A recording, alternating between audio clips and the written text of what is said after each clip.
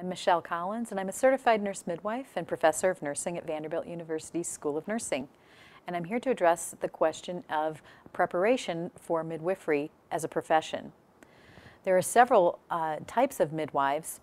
Certified midwives and certified nurse midwives differ in that certified nurse midwives are educated in the discipline of nursing and midwifery, whereas certified mid midwives uh, come from health related backgrounds often, um, but not nursing backgrounds.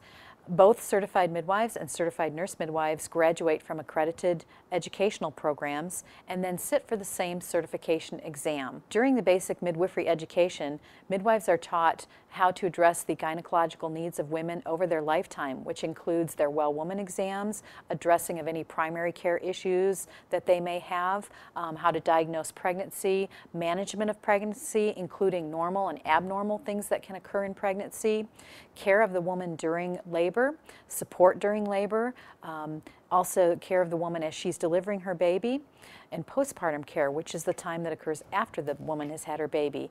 Midwives are also very educated in assisting with um, the breastfeeding needs of women and their babies.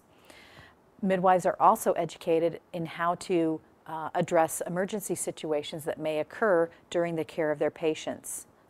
Certified nurse midwives are uh, licensed to practice in all 50 states and the District of Columbia. Certified midwives are licensed to practice in three states, New Jersey, New York, and Rhode Island. There are also uh, lay midwives, or what some people call granny midwives is another term.